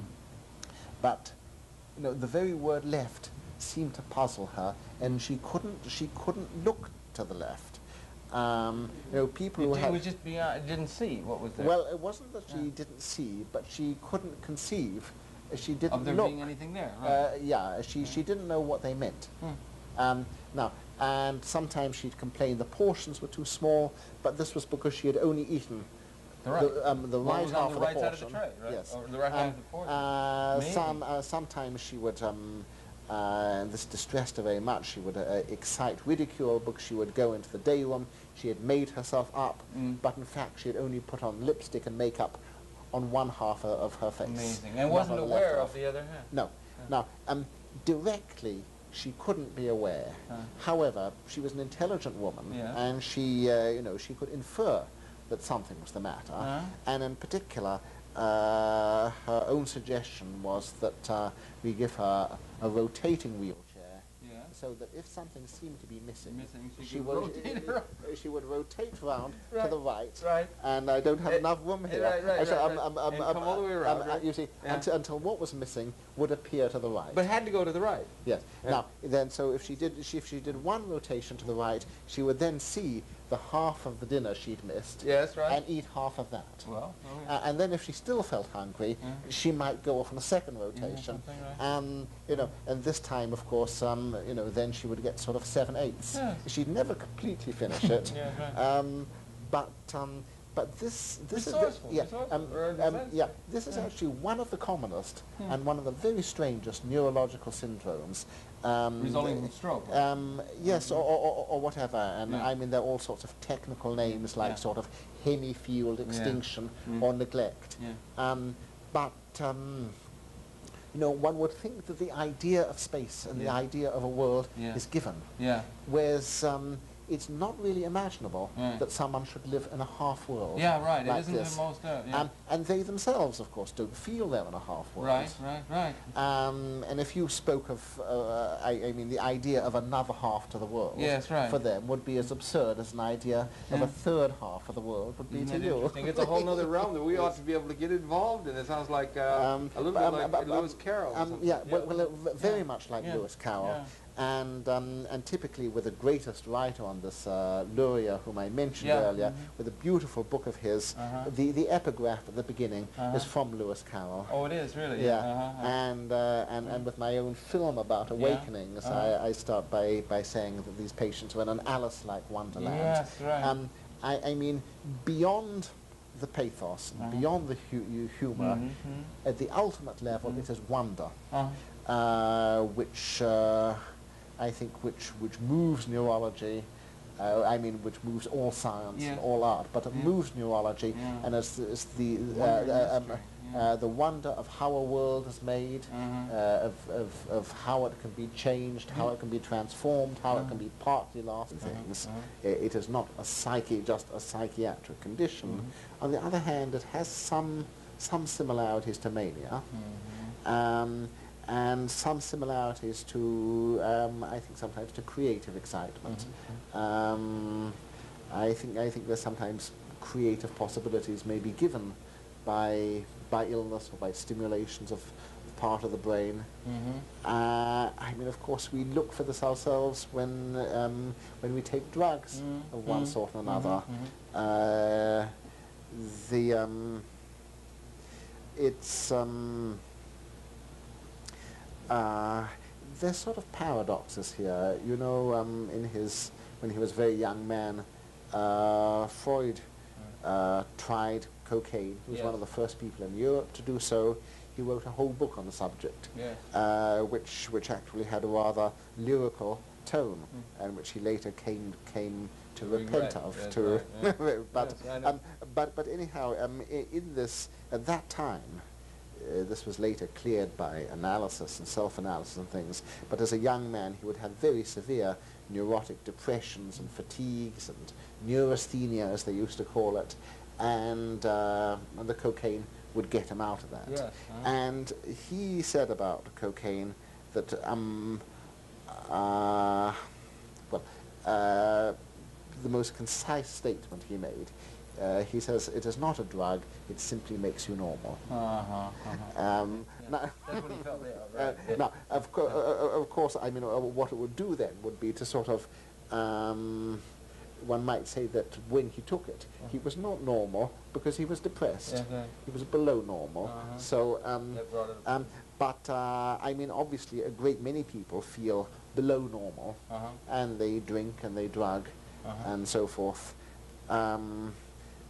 The Or to try to enhance Um, their Um, consciousness. uh, but um, uh, there's partly a cultural thing about this. So you, you know, in the 1960s, everyone was sort of taking acid, and, Yeah. and, and Timothy Leary was, was, was seen as a as a messianic figure, and now and, and now people don't. But uh, but one way and another, people want to live creatively, Yeah. and they want to live vividly. uh-huh, uh-huh. Um, and the normal consciousness very often is not that. And the life circumstances, the social, Yeah. political, economic ordering of the society tends to diminish Yeah. people's creative abilities. Um, It's- well, it's, it's not, it's not a particularly creative environment No. that they're asked to live in. um, I, I, I, to a degree, life's experience, Yes. not particularly necessarily creative. Absolutely. Yeah. Well, I mean, uh, I mean, uh, um, a, a- a lot of us feel half dead, Mm. or, or half dead for a lot of the time, Uh-huh. and we and we look for something which will which will which will alter it. Yeah. And um, uh, of course, with with things like cocaine and neurological things, um, um, this is really a sort of um, a sort of cheat or trick. Because what happens is, is you excite the nervous system, Mm. you do a sort of vertical takeoff, Yeah, yeah. and then you come down and you Uh-huh. crash, and um, and life is no different. Uh-huh. Uh-huh. Where, whereas if you're genuinely creatively involved, Uh-huh. then the world opens up in, in wonder, and Uh-huh. it and it can be and it can be very different. Yeah, so you can you can have these alterations in brain biochemistry and so forth uh, by life's experiences or by the ingestion Yes. of some drug that will alter Uh, those. In fact, uh, the drugs very often do alter these ra- ratio of neurotransmitters. Yeah, Is- uh, and uh, and uh, and vice versa. Uh. Um, you, you know, this is a uh, this is an ambiguous theme, yeah. uh, which uh, which fascinated uh, have, has fascinated many writers. Yes. Fascinated Thomas Mann. Indeed. Uh, and and so in in again and again. Uh, in, in the Magic Mountain, it's, Yeah. it's tuberculosis, Uh-huh. uh, and, and and as it were, there's a tuberculous high, Mm-hmm. uh, which um, and then in some epileptics. Uh, there's some. Oh, yes, yeah, yeah, oh, oh, oh Mm. cer- certainly, yes. Mm. The in, uh, in in in his later book in in uh, in Doctor Faustus, uh, the brain is uh, is stimulated. The man becomes a musical genius Uh-huh. uh, because he has syphilis of the brain, or, or, or, or, or, or at least this is the this is the theme. Uh, there's a horrifying last last novel of his uh, in which. Uh, uh, uh, actually, it's sort of too, it's rather morbid and too too disturbing to tell. In Wow. which a uh, uh, an older woman falls in love Uh-huh. and uh, uh, and feels tremendously alive and rejuvenated again, and uh, and even her her periods come back. They Yeah. had stopped, and and it all seems a miracle until she starts to to lose weight and to feel a bit, a bit ill, and then there is discovered the last scene of the story. There's discovered a uh, a malignant tumor Uh-huh. of the ovaries, which are which are secreting hormone, uh, and the surgeons are discussing things among themselves, and they say with all this hormone going, uh, she must have been very excited, very erotically excited. Um, uh, they wonder if this might have altered her personality, but then the other surgeon said, but perhaps it was the other way around. Mm. Uh, perhaps there was an erotic circumstance. Mhm. Perhaps she fell in love, Mhm. and this sort of stimulated the Mhm. ovaries and the growth mhm. and um, I, you mentioned to me earlier that you had once interviewed someone about uh, about chemistry and love. Yes, by, by Michael Liebowitz. Yeah, Uh-huh. right, yeah, right. Um, but the, the, the, the most terrible and frightening story I've ever read about chemistry and love is that yeah. is the black swan. Yeah, but it does have to do. It does have to do with the the, the desire on the part of, or the interest on the part of uh, altered states, enhanced states, Yes, and so forth. yes. Is interesting, and a lot of these neurological conditions you study are enhanced very often detrimentally. So, and there's a great deal of pathos involved and so Yeah. forth too that Yeah. you must be Um, sensitive to. no, no, well, the, I, I mean, the pathos is, Yeah. is, is Yeah. overwhelming. Yes, I Um, it must a- be. and uh, people who comment, I, I, I work on the whole among the most disabled patients in chronic hospitals, and uh, uh, a feeling of horror comes on one at first at the at the things which can be done. Yeah. Um,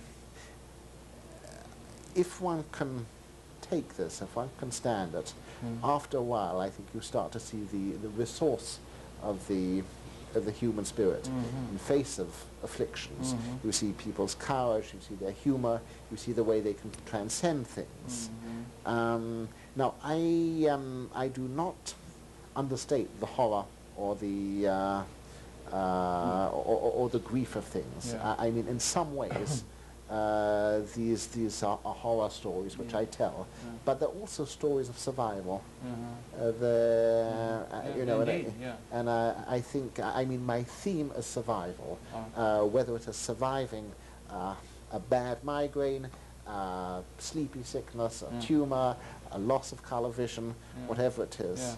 Yeah. Uh-huh. And Lots um, of color vision, yeah, right. yeah, Yeah, no, Right. it- it- You're involved in that at the yeah, moment, yeah, right? yeah. I'm sorry, it keeps keeps Yeah, no, coming that's quite my all right. mind. And, and you have written also, you wrote a book, Migraine, sometime ago, Yes. on migraine Yes. itself. It's a, it's a thing that plagues great numbers of Yeah, people. yeah, no, that, that, that, that, was my, Yeah. my first book, my first interest. Uh-huh. And um, it's... Uh, as a neuro neurologist. Yes. Yeah, right. uh-huh. Um, no, it's um, it's immensely fascinating Yes. and immensely challenging. It's, Uh-huh. it's not just a headache. In a, in a way, the headache is the is the least interesting part of it. Gee, that's interesting. Uh, and. It's- It's a yeah, um, widespread Y- phenomenon. yeah, it is indeed sort Yeah. of. Uh, And you had another book, Awakening? um, Yeah. uh, with awakenings, yeah, this was about an extraordinary group of patients um, who had all had the thing called sleepy sickness or Yeah. sleeping sickness. It was Uh-huh. a virus in the in the early 1920s. Uh-huh. Uh, this uh, this was a worldwide epidemic. Uh-huh. Uh, it affected about five million people. Is that narcolepsy? Um, no, no, No. it- no, not No. like that at Yeah. all. Um, Yeah.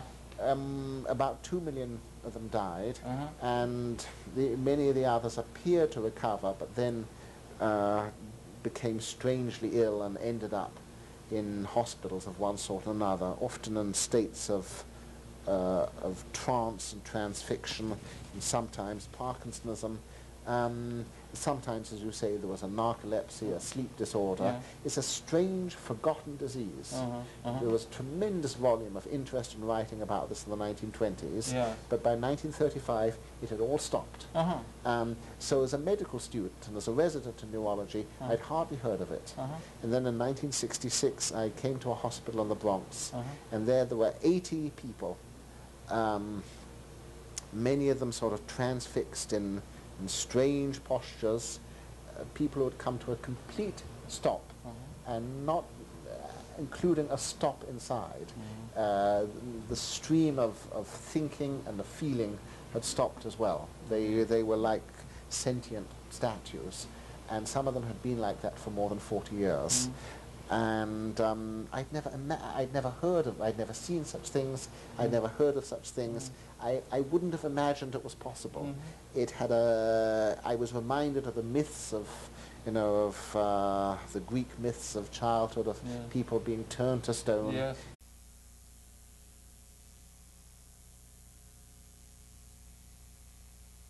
Good evening and welcome very, very much to Conversations, where I am very pleased to welcome to the program Dr. Oliver Sacks. And Dr. Sacks is a neuro neurologist uh, at the Albert Einstein uh, College of Medicine and has written an extremely interesting book that's taken uh, a great number of people's interest in the country entitled uh, The Man Who Mistook His Wife for a Hat. And uh, Dr. Sacks, welcome very, very much to Conversations. Pleasure to be here. You're a neurologist and trained in neurology. I wonder if perhaps you could explain for myself and the cable audience uh, the field of neurology itself, exactly where it fits into understanding human consciousness and mental process, and then perhaps weave that into your own personal background. You were trained in England and so forth, but uh, you were trained in the field of neurology. Yes, I, I- was trained partly in England, and I came here in 1960 and did the rest of my training in California, Uh-huh, uh-huh. and then I came to New York. And you did a special training in medicine of neurology. Is, is that correct? Yes, Yeah. uh, and maybe you can explain to us what is neurology and, and where does it fit in in terms of understanding, again, human consciousness? Um, well, as a first as, a, Mm. as a neurologist, Yeah. one as a one as a physician, Yes. and one is one is concerned with uh, patients and with people in in jams, in predicaments. I see, In uh. particular, predicaments which have been caused by their nervous systems acting up, Uh-huh. either their brain, their spinal cord, their peripheral nerves. Uh, there may be some disease, there may be some damage. Mhm. Uh, as a neurologist, you want to uh, find out exactly what the matter is with the nervous system Mhm. and, uh, and what you can do about it, Mhm. but you're equally concerned with the effect of this on the person, Uh-huh. how it may alter their, their world, Yes, their, their, their inner experience, Mhm. and, uh, and if need be, how they can cope best and live and survive in an altered world. Uh-huh. And so this way you have to be equally sensitive and equally knowledgeable about the anatomy and the chemistry of the nervous system, Mhm. but also to all the things that, that make a life and make a world Yeah, for an individual. There would be overlap then with uh, uh, concerns of psychiatry, uh, uh, so, so, so, psychology, and other disciplines then that would be sister disciplines to Oh, oh, uh, neurology. uh, absolutely. Uh-huh, I mean, uh-huh. one is rooted in, in, in the neurosciences Yes. at one end, and in psychology and phenomenology, and, and just, just what it is to, to be a person. Uh-huh, uh-huh. And you and you've written you, you you've been practicing and you find that you uh, have experiences with, with patients and people that you have experience with, which offers a very very rich experiential uh, consciousness and, and experience on the part of the patients that you've written about and shared with the greater society. Your book, The Man Who Mistook His Wife for a Hat, introduces to those of us who are in a certain sense normal realms of understanding, realms of perception that are are, are, are interesting and uh, pathos in many cases, Mhm. humorous in many cases. Mhm. It's an interesting realm that most of us are not aware of and one that you've written very beautifully on. I mean, it's an interesting realm of different consciousness than that which we normally are aware of. huh? Um, well, uh, yeah, in some ways the patients I write of can, can seem very remote from, from ordinary life and from Mm. normality, Mm. but in, uh, in other ways I think one can, uh, I think as a physician one has to be able to, one has to try and imagine what it's like for them and, Yeah. and enter into their, Yes. their situation and their world and, and relate it to one's own. Mhm. So um, uh, I write, for example, about one man who has lost his memory Uh, and who uh, who can't remember anything for more than 10 seconds or so, Yeah. although he's a charming, intelligent man. And this, uh, but this makes one think about memory in general Yes. and how much one's own identity and continuity and one's sense of self depends on memory. uh-huh.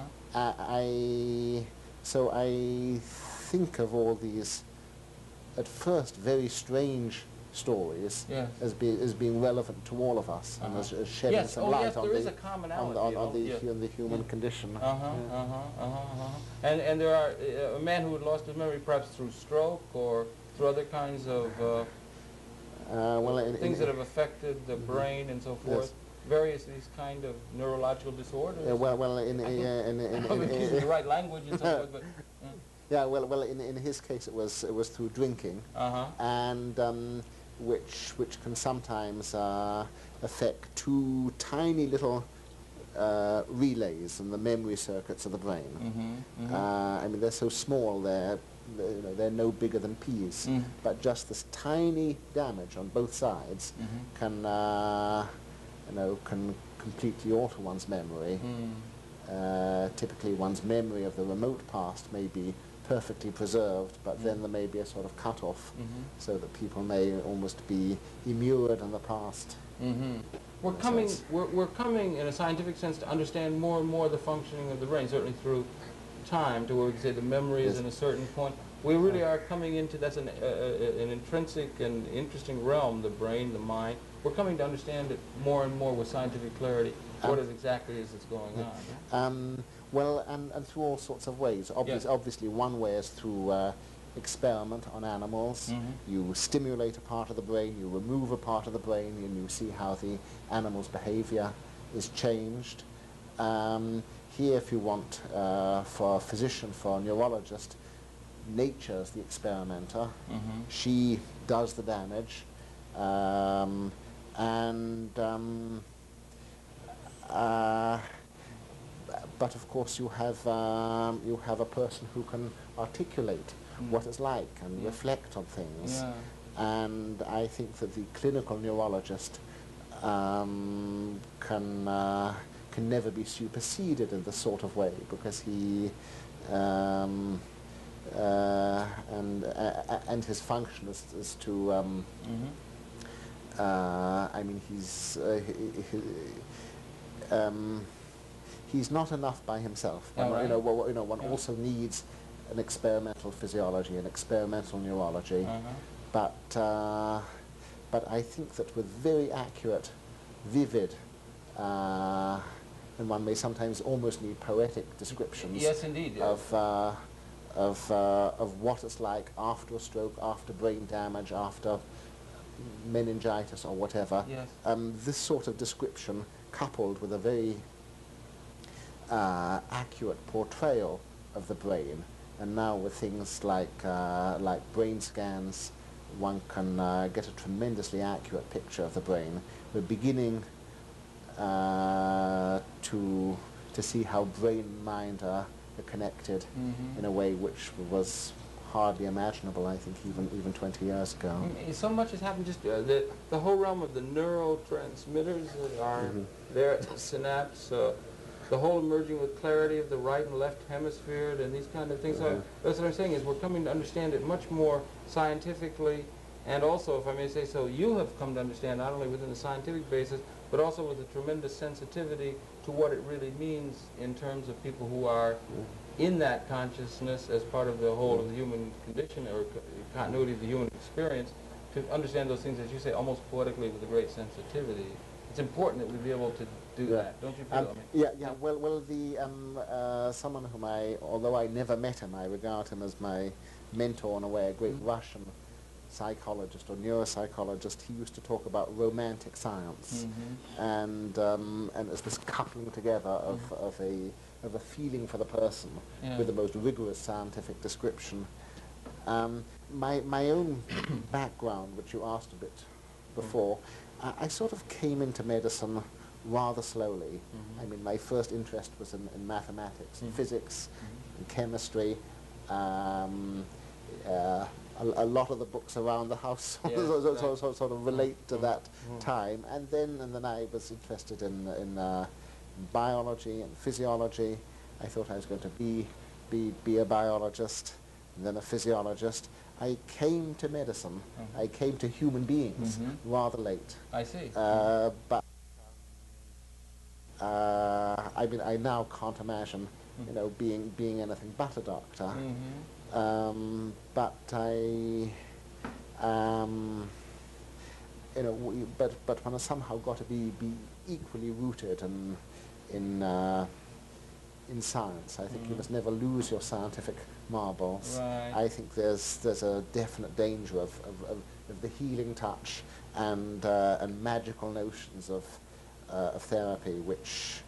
Uh, which give me the creeps, which I Yeah. think, which I think is, is sort of dangerous. Oh, oh. Um, on the other hand, there's there's the danger of a medicine which is too technological, which is cold-blooded, Oh, and which yeah, doesn't yeah. have any feeling. They really only sees the people as a disease rather than as a person. it's important to be able to be sensitive. That in your book is extremely sensitive, almost poetic in many cases, describing the circumstances that some of these people that you do describe, a series of case studies, as it were, extreme sensitivity, almost ranging on the poetic. That I, at this point, like to thank, uh, congratulate you on having achieved that sensitivity and communicating that to us. But, but you know, um, patients are poetic. Yes. Um, um, everyone is poet. In fact, he tried this with a door, and the door and the door came and smashed him in the nose, and he, he so he came in with a um, Fortunately, this was before the days of malpractice, and, uh, and, he, and he came in with a broken nose and uh, and, and used some four-letter words about the about uh, about the drug.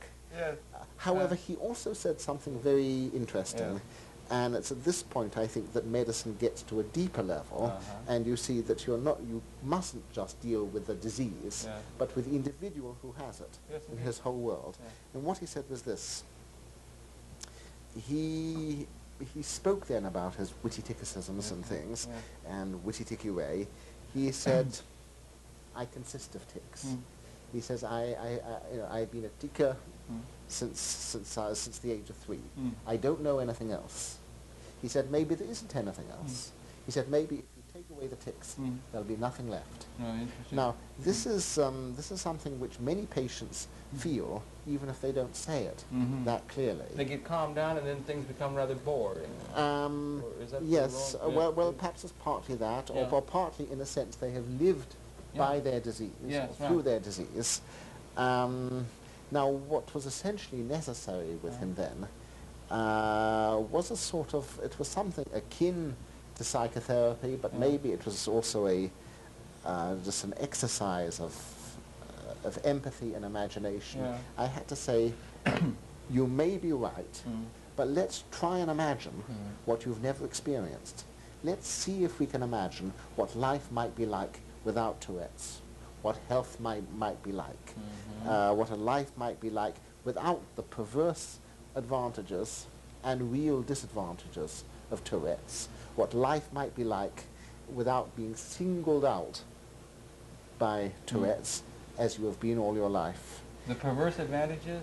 Well, the, the perverse advantages, you know, eh, um, uh, from the ability Yeah. to from the ability to create an outrage or a yeah. scandal to uh, to the ability to be to be a remarkable drama. Yeah, right, right, right. Um, uh, so he said, uh, so we did this, and and the, it became clear to both of us that there was a level of the personality uh-huh, which was deeper than the Tourette's, uh-huh. and which, so to speak, had been observing life Mhm. uh, or, uh, and um, I wasn't convinced when I first saw him that there was this deeper level, Mhm. though, though I think there always is. Mhm. I mean, a person is always deeper than Mhm. any disease Yeah. Which they may have. Mhm. And, um, and then after three months of this sort of thing, which, which gave us, gave him in particular, some feeling of hope, Mhm. uh, I tried him again on the same medication, and really this time it worked like a charm, and Yeah. it's done so for the last 15 years now, although there's a cost. Mhm.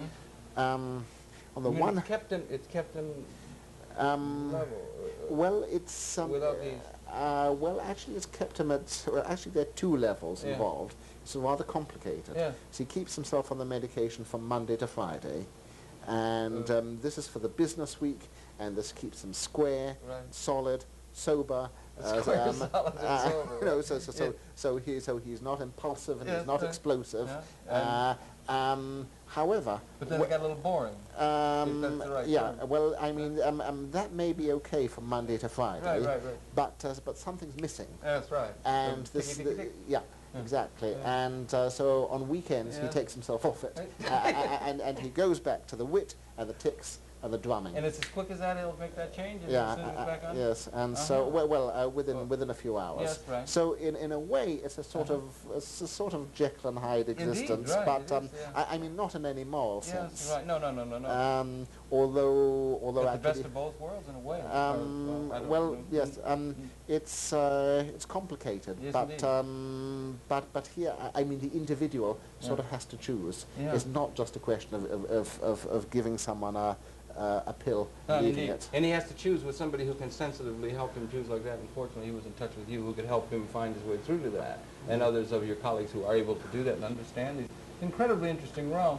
You had another, there's a thing in the book, a phasic, aphasic. You had a thing there Uh-huh. about people who were looking at the speech of the president and that they see things. I wonder if you could share that Um, with us, uh, if well, you would. Yeah, I in, found it very interesting. um, uh, aphasia is, is quite a common condition. uh-huh. Uh, sometimes it's from stroke, sometimes a tumor or brain injury or whatever, in which the ability to understand or use language Uh-huh. uh, is lost, uh, and the sense of words and grammar is lost. Yeah. The person can't form a sentence, and perhaps they can't understand a sentence.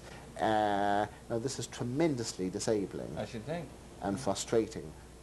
However, not everything is lost, and uh, typically, uh, um, uh, I see this in the hospitals where I work that um, the nurses and friends and other people may not um, can hardly believe that these patients sort of are so aphasic Uh-huh. because the patients may be so sensitive Yeah. in picking up non-verbal things, sort of expression uh, and intonation, Uh-huh. the tone of voice, Yeah. the posture of the body, and um, Apart from the word itself, or the various words, yeah. um, um, Oh. so, so that certainly with, uh, with an emotional and emotionally coloured utterance, Mhm. they can pick up the emotional colour with extraordinary accuracy. Uh-huh.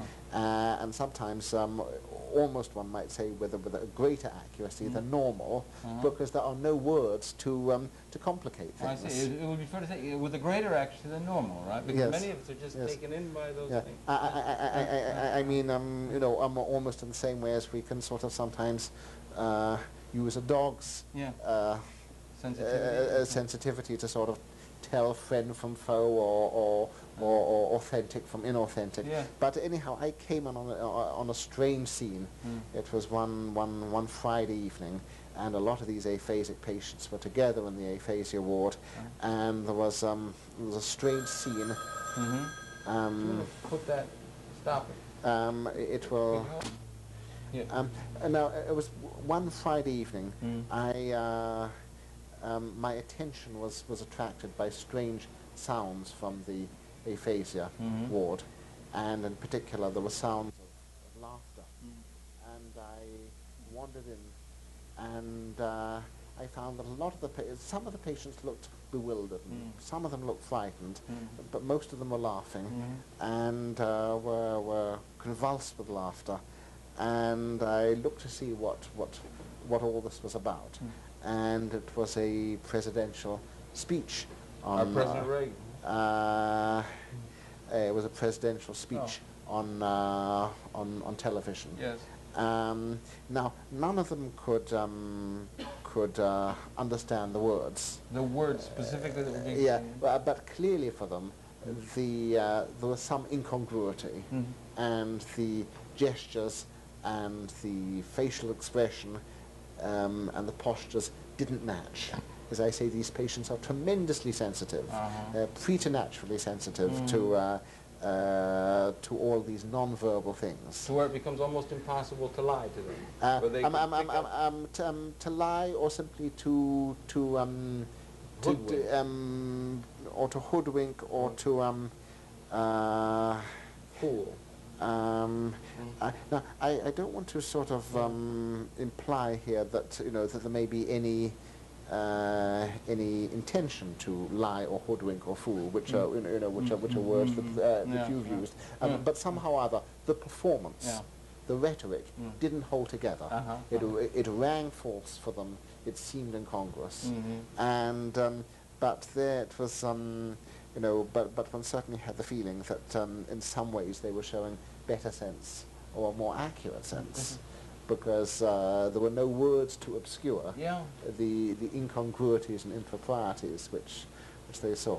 Amazing. It's amazing. uh, Interesting. Yeah. Uh, so I am, I, you know, um, I, I think disease, and especially neurological disease, can be full of paradoxes. Uh-huh. Because on the one hand, you see disabilities of all sorts, but the disabilities themselves may may may serve as abilities. Can, can we can we find uh, or associate some of these uh, neurological states or, or psychological states or brain damage? thing- Are, any, these are like the rikki-tikki. the- They, they are in some cases associated with creative creative outbursts or creative stance. Do we find a similarity between that and normally thought of as psychiatric conditions of schizophrenia? Any of these Yeah. things that we normally are in some cases associated with artistic expression or musical expression? Or Um, what is the relationship between particularly some of these right hemisphere deficiencies and so forth and creativity as we normally think of it? Or it's a Um, broad or poetic sense. Mhm. Um, the uh, Um, or are they mimicked in what we call semi-normal, or in a normal? So, Um, well, as I say, with, with this thing, uh, Tourette syndrome, Yeah. this, this clearly has a, um, organic changes in, in the brain's physiology. Huh. I think, I think that if you give people a chance, now I think this really has nothing to do with culture or even intelligence. Mm. I think, I think people will say the most moving Mm. and accurate things Mhm. about themselves. Um, uh, I saw a woman the other day who had, who had been catatonic Mhm. for a while and, and in a sort of trance. When she came out of it, I asked her what, what it had been like. And she said that she felt that if she so much as blinked, the world would come to an end. Uh-huh. Mm. Uh, I, I um, Mhm. you know, now this, uh, this world, uh, yeah. the world, Mhm. you know, uh, this was a, uh, uh, a simple woman with no, with not much education and no, no great gift for language, but the matter couldn't have been more powerfully put, Uh-huh. more accurately put, Yeah. more terrifyingly put. Yeah. If she so much as blinked, the world would come to an end. That's what the feeling of, what ca- uh, of catatonia may be like. Uh-huh, uh-huh. And this is one realm that you've had occasion to be involved in, and that realm of, what, catatonia, was it aphasia? There's various kinds of conditions that you've been able to identify, and of different states. Some of them are things of loss, some of them are things of overstimulation, Yeah. and so on. I wonder if you could give us sort of a broad brushstroke understanding of what neurological disorders and uh, types of disorders and, and some sort of an idea. How many different kinds of disorders? How can we classify them? Just in a broad, general kind of way, if, if you Um, could, for the layman, yeah. if you understand. Um, well, the uh, um, the the common word in in uh, the common words in neurology are, are lesion and deficit. Uh-huh. Uh, a lesion, strictly speaking, means a loss or Yeah. means something missing or Uh-huh. something broken. Um, uh, and um, uh, and this way one thinks of a, uh, a lesion or a loss, for example, in the language parts of the brain or in the parts of the brain at the back which, uh, which were involved in seeing Mhm. and processing visual information, Mhm. um, or the parts of the brain at the front, the frontal lobes, which were especially concerned with judgment and, uh, and character. Mhm. Um, uh, some, um, or as I mentioned before, the, these lesion and these tiny little memory circuits. Mhm.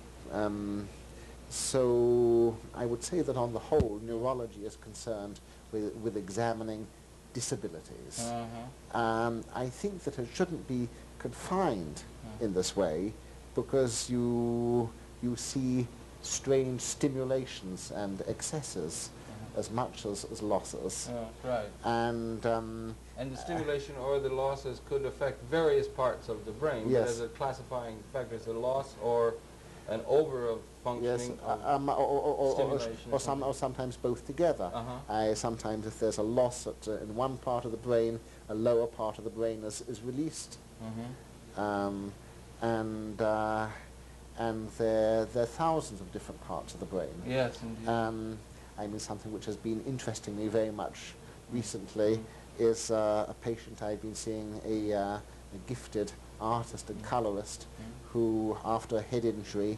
had uh, has had a loss, a total loss of color vision, so that he's he's seeing in black and white. and he'd been a color, an artist with Oh, a, a, genius of color. Oh, I, I- mean, so so in a way, the most important thing in his world was knocked out. And he had an accident, and then that was a deficit of the part of his brain that had to do with colors, and now he sees in black Um, and white. Yeah.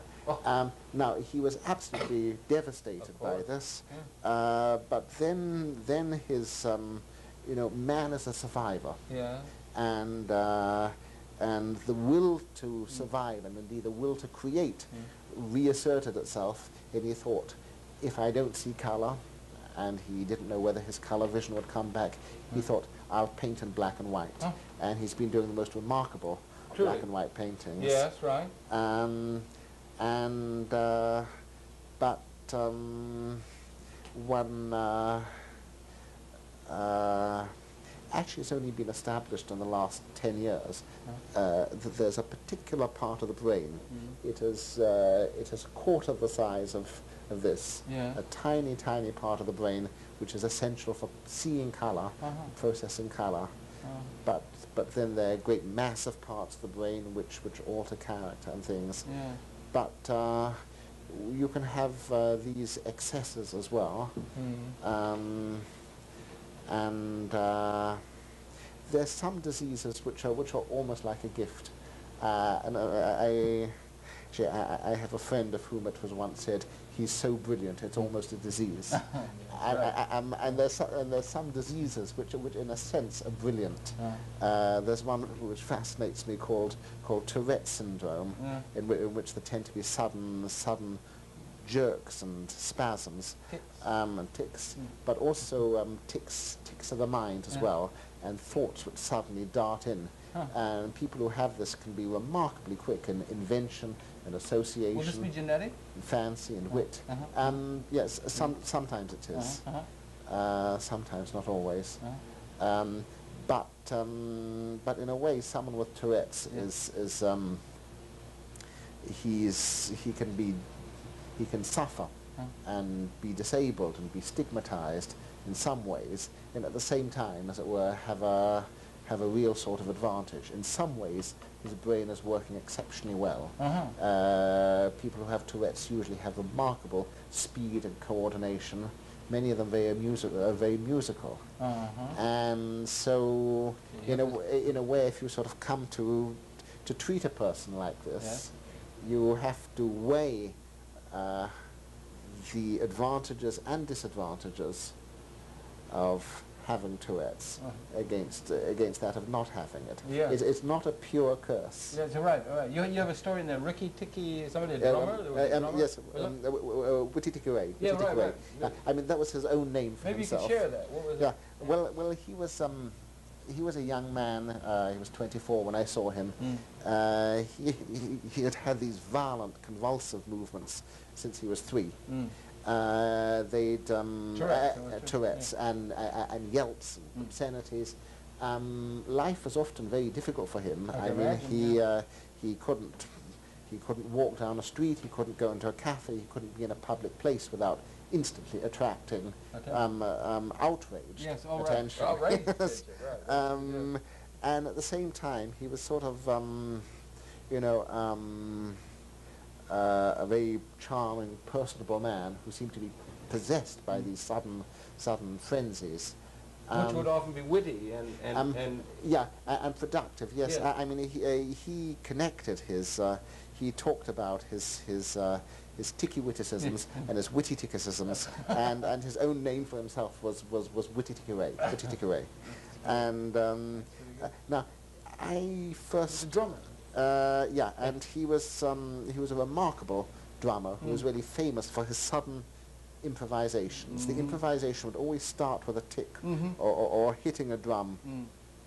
compulsively or convulsively, but Mm. then he would improvise very quickly Mhm. around this. Mhm. And um, but so that um, was a source of creativity in terms oh, of music absolutely, creativity. Yes, right, right. okay. absolutely. Mhm. Um, now, however, he he came for some medicine. Yes. Uh, he now um, as a doctor, um, and perhaps this happens increasingly, and perhaps too much now. Mm. One may think. One, when one must think physiologically and chemically. So Mhm. you say, what is the physiology of Tourette's? What is Yeah. the chemistry of Tourette's? Uh-huh. Or what should we do about the disease? Yes. Now, um, one finds, uh, you mentioned some of these transmitters which been... Neurotransmitters, uh, yeah. yeah. Now, there's um, the transmitter which is too low in Parkinson's disease, Uh-huh. a thing called dopamine, Yes. is too high in Tourette's I see. syndrome. So Uh-huh. where there's too little motion in Parkinson's, there, there, there- much. there- there's an extravagance of motion Yes, uh-huh. in Tourette's. Um, so you would think then let's damp down the dopamine. Uh-huh. By giving the dopamine, dopamine is a neurotransmitter? Is a neurotransmitter. And by giving a certain drug, you would affect the Uh, dopamine um, ratio um, of the synapse? Yes. Uh, Now, um, however, when I uh, uh, when I tried him on this, uh, it um, it worked sort of. Um, it sort of slowed him down too much, and it threw him off in various ways. Give him too much, maybe? Uh, no, No? well, well, it Well, was, I mean- um, well, I wasn't sure, but Yeah, right, um, course, I, I, in fact, no, I gave him a tiny dose, Yeah, uh, the smallest dose I've ever given. I see. But somehow, I mean, he was, um, Yeah. uh, he was very used to doing things Yeah. at high speed. Yes, right. And in particular, he was sort of playful. A lot Yes, of right, right. Tourette's were. He Yeah. liked to set a, rev- uh, a revolving door spinning, uh, and then go, go round right, it like right, that. right. Or Uh, going off on a creative drum riff is really fun. Yeah, and um, you know, and this brilliant time and this acceleration was Right. was lost. Yeah. And